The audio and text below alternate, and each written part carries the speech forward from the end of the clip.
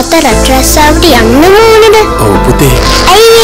පුතාට සතුටින් ඉන්න ඕනේ හින්දානේ ජාවාරම්කරුවන්ට අහුණු වී වැදගත් විදිහට වැඩ ටික කරගෙන සතුටින් රට යන්න මම ඉන්දික එදිරිබන්දු සමග සේවක සංගමේ ශ්‍රී ලංකා ටෙලිකොම් සාකාවේ සභාපති.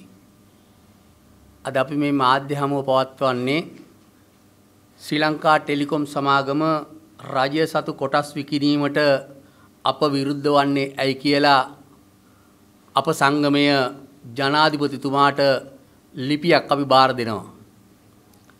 අපි ඒ ලිපිය බාර දෙන්නේ ටෙලිකොම් ආයතනය රජයට බරක් නොවූ ලාභ ලබපු ආයතනයක්. ඒ ලාභ ලබපු ආයතනය ගොඩනැගුවේ මේ රටේ ජනතාවගේ බදු මුදලෙන්. එහෙමනම් මේ ජනතාවගේ බදු මුදලෙන් ගොඩනගපු ආයතනය මේ ජනවරමක් නැති ආණ්ඩුව අද විකුණන්න සූදානම් වෙනවා. ඒක නිසා අපි ජනාධිපතිතුමාට මතක් කරනවා ජනවරමක් නැති ආණ්ඩුව ජනතාවගේ බදු මුදලින් ගොඩනගපු ලාභ ලබන රජයට බරක් නො වූ ශ්‍රී ලංකා ටෙලිකොම් ආයතනය විකුණන්න එපා කියලා. අපි හිතන්නේ ටෙලිකොම් ආයතනය විකුණන්නේ මේ ආණ්ඩුවේ ඡන්ද කැම්පේන් එකට මුදල් හොයන්නද කියලා අපට පොඩි සැකයක් පවතිනවා. අපි ජනාධිපතිතුමාට ලිපියක් මගින් දන්වා සිටියේ ටෙලිකොම් ආයතනය කොච්චර මේ රටට මේ භාණ්ඩාගාරයට ලාභයක් ලබා දෙනවද කියලා.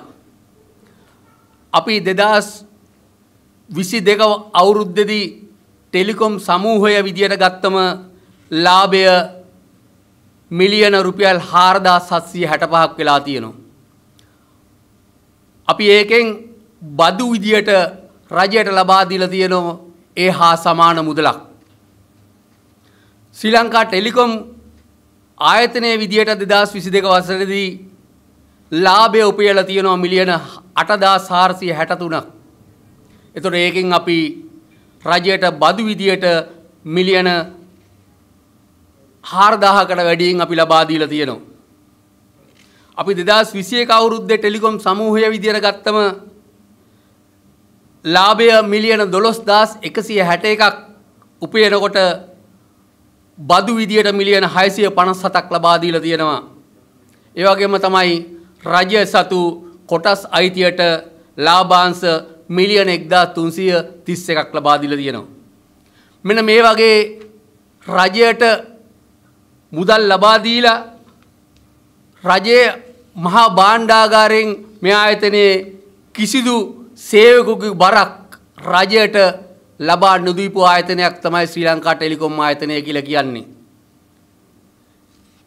ඒ වගේ ආයතනයක වැටුප් ගෙවන්නවත් එහෙමත් නැත්නම් සේවකයන්ගේ අනුකුත් දීමනා ගෙවන්නවත් රට තුල යටිතල පහසුකම් වැඩි දියුණු කරන්නවත් මහා භාණ්ඩාගාරයෙන්වත් අයවෙන්වත් ශ්‍රී ලංකා ටෙලිකොම් ආයතනයට මුදල් ලබා දෙන්නේ නැහැ.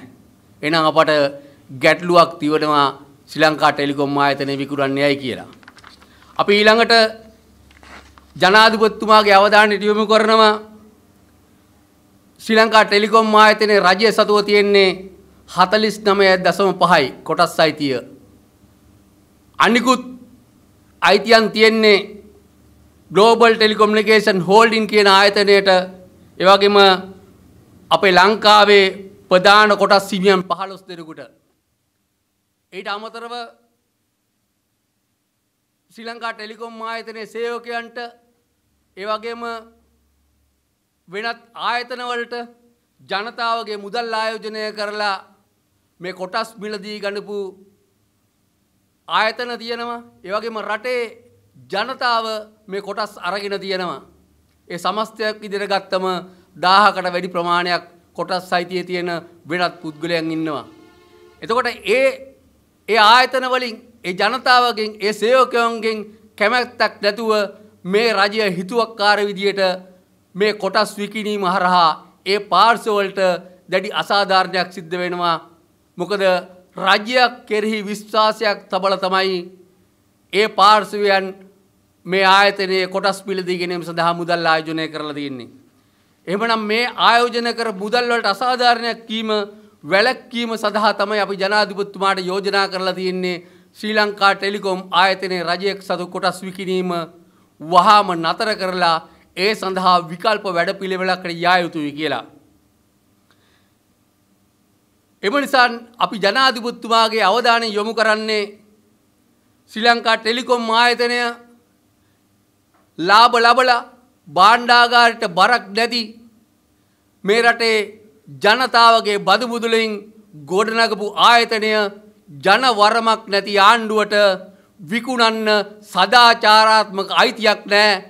එහෙම වුණෝතින් ටෙලිකොම් ආයතනයේ සේවකෝ වගේම මේ ආයතනය අයිති මේ රටේ මහජනතාවට නම් ඒ මහජනතාවට අයිතියක් තියෙනවා ශ්‍රී ලංකා ටෙලිකොම් ආයතනය රජය සතු කොටස් විකිරීමට එරෙහිව පාර්ට බැහැලා තමන්ගේ අයිතිය තමන්ගේ දරුවන්ගේ අනාගතය අයිතිය සුරක්ෂිත කරන්න එකතු වෙන්න කියලා අපි ආරාධනා කරනවා මේ රටේ සියලුම රටවැසියන්ට.